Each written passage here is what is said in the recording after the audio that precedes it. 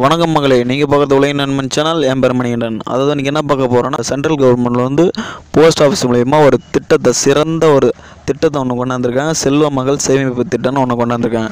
அந்த திட்டத்தோட முழு விளக்கம் பார்க்க போகிறோம் நீங்கள் நம்ம சேனலுக்கு புதிய நண்பர் இருந்தால் சப்ஸ்கிரைப் பண்ணிக்கங்க.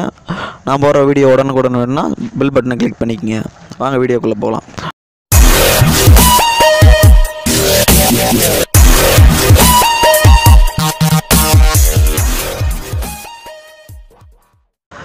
திட்டத்தோட பேர் என்னென்னா செல்வ மகள் சேமிப்பு திட்டம். இந்த திட்டத்தில் எலிஜிபிள் யார் யாருன்னா பத்து வயசு அதாவது ஒரு வயசுலேருந்து பத்து வயசுக்குள்ளே இருக்கிற பெண்கள் மட்டும்தான் இந்த திட்டத்தில் எலிஜிபிள் பசங்களுக்கு கிடையாது.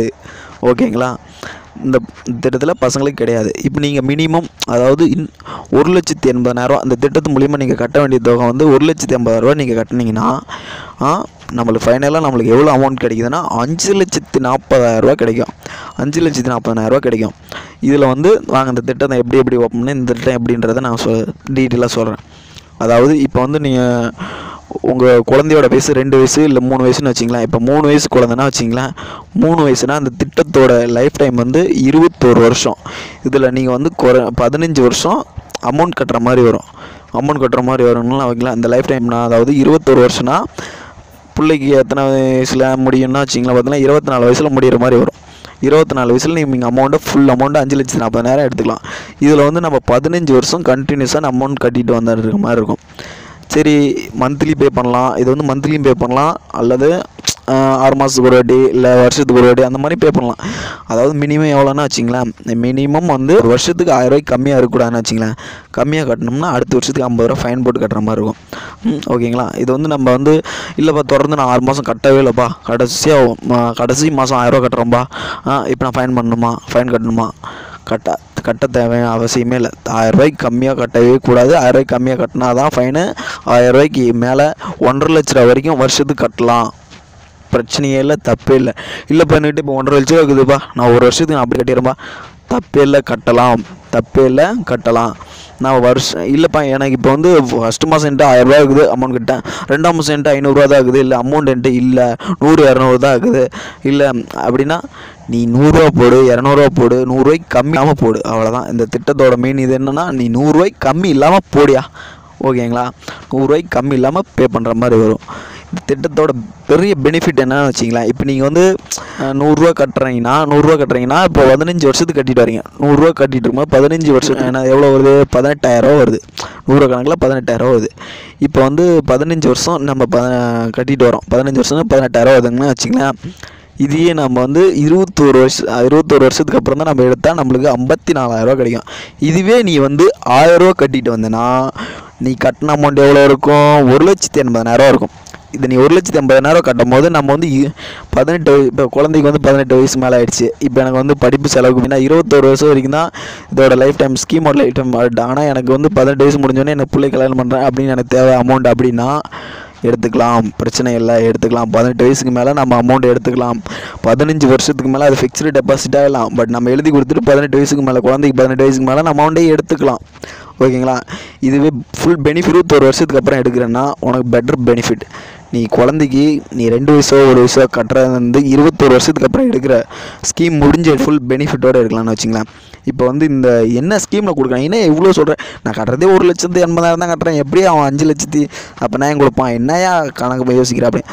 முழுக்க முழுக்க கவர்மெண்டோடது நம்பலாம். எவனே தெரியாதன்ட்ட போய் நம்ம கட்டுவோம் பார்த்தீங்களா ஒரு ரூபா கொடுத்தா ஐநூறுரூவா ஐநூறுரூவா கொடுத்தா ஆயிரரூவா அப்படின்னு மாதம் இப்போ ஒரு நீ கேள்விப்பட்டிருப்பீங்க இடையில மூணு லட்ச ரூபா கட்டினா மந்த்லி இப்போ ஐயாயிரரூவா டாலரில் ஏறுது அப்படின்ற மாதிரி கேள்விப்பட்டிருப்பீங்களே. இடையில கூட ஏமாத்திட்டு போனான்னு கேள்விப்பட்டீங்க. அந்த மாதிரி இல்லை. இது கவர்மெண்டோடது note this point government government ஓகேங்களா நீங்கள் கட்ட போகிறது போஸ்ட் ஆஃபீஸ் ஓகேங்களா இந்த இது எப்படி நம்மளுக்கு கொடுக்குறாங்கன்னா அமௌண்ட் வந்து நம்ம வந்து அமௌண்ட் ப கட்டுறோம்ல அது வந்து புக்கில் வந்து நம்மளுக்கு அன் இயர் மந்த்லி மந்த்லி நீங்கள் கட்டினீங்கன்னா நம்ம வந்து இப்போ என்ட்ரி பண்ணிக்கலாம். ரெண்டாவது கவர்மெண்ட் போஸ்ட் ஆஃபீஸிலோட இயர்லி கணக்கு எப்போ முடிப்பாங்கன்னா ஏப்ரல் மே அல்லது மார்ச் இந்த இந்த டைமில் அந்த மூணு மாதம் டைமில் அவங்க வந்து இயர்லி கணக்கு வந்து முடிப்பாங்க. முடிக்கும் போது நம்ம வந்து அந்தந்த வருஷத்துக்கான இன்ட்ரெஸ்ட் எவ்வளோ நம்மளுக்கு போட்டு கொடுத்தாங்க என்ட்ரி பண்ணி கொடுத்துருவாங்க நம்ம புக்கில் அதை பார்த்து தெரிஞ்சுக்கலாம். சரி என்ன ஏன் என்ட்ரி பண்ணாலும் எப்படியா ஒரு லட்சத்தி ஐம்பதாயிரத்துக்கு எப்படியா அஞ்சு லட்சம் சொல்கிற வரும் என்ன ஏன் கணக்கு பண்ணுற அப்படின்னா யோசிக்கிறீங்க? என்னென்னா வச்சிங்களேன் இதில் வந்து கூட்டு வட்டி முறையில் போகிறாங்க இப்போ நீ ஒரு ரூபா கட்டும் போது வட்டி வருதுல அந்த வட்டிக்கு வட்டி அப்படின்ற மாதிரி தான் இதான் கூட்டு வட்டின்னு சொல்லுவாங்க.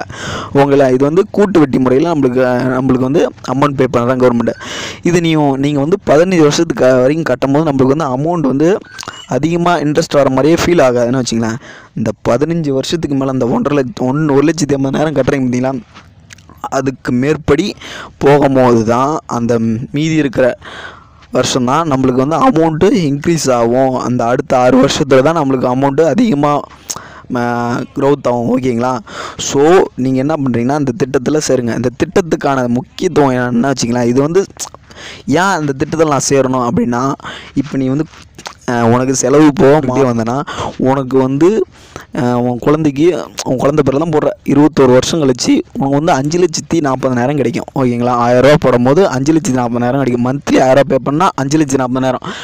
ஓகே செம் திட்டம்லாம் செம்மையாக இருக்குது பட் நான் எப்படியா சேர்றது? நீங்கள் சேர முடியாது. உங்கள் பிள்ளைங்க அதாவது இந்த திட்டத்தில் நீங்கள் என்ன செய்யணும்னா உங்கள் சின்ன பிள்ளைங்க அதாவது ஒரு வயசுலேருந்து பத்து வயசுக்குள்ளே இருக்கிற பிள்ளைங்க மட்டும்தான். இது வந்து செல்வ மகள் சேமிப்பு திட்டம். அதனால் உங்கள் சின்ன பிள்ளைங்களுக்கு வந்து சேமிக்கிறதுக்காக இந்த திட்டத்து மூலம் சேர்த்துக்கலாம் வச்சுக்கலாம் சரியா என் பிள்ளைக்கு எப்படியா போகிறது ஒன்றும் இல்லைங்க. உங்களோட குழந்தையோட வந்து பிறந்த சர்டிஃபிகேட்டு இல்லை ஆதார் கார்டு ப்ளஸ் உங்களோட பாப்பாவோட ஃபோட்டோ குழந்தையோட ஃபோட்டோ ப்ளஸ் என்னென்னா உங்களோட ரேஷன் கார்டு ஜெராக்ஸு அப்புறம் பேன் கார்டு ஜெராக்ஸு இதை மட்டும் எடுத்துகிட்டு போயிட்டு ஆயிரரூவா காசு அமௌண்ட் எடுத்துகிட்டு போயிட்டு நீங்கள் வந்து பக்கத்தில் இருக்க போஸ்ட் ஆஃபீஸில் கொடுத்து நீ நாம் வந்து இந்த திட்ட ஸ்கீமில் வந்து ஓப்பன் பண்ணி நம்ம அமௌண்ட் கட்டலாம். ஓகேங்களா ஸோ இந்த திட்டத்தை பற்றி நீங்கள் வந்து என்ன பண்ணுறீங்கன்னா உங்களுக்கு தெரிஞ்சவங்க தெரியாதவங்க எல்லாத்தையும் சொல்லுங்கள் ஷேர் பண்ணுங்கள் okay like share and subscribe subscribe பண்ணாதவங்க இப்பவே சப்ஸ்கிரைப் பண்ணிருங்க. எங்களோட அப்டேட்ஸ் உங்களுக்கு வரணும்னா பெல் பட்டனை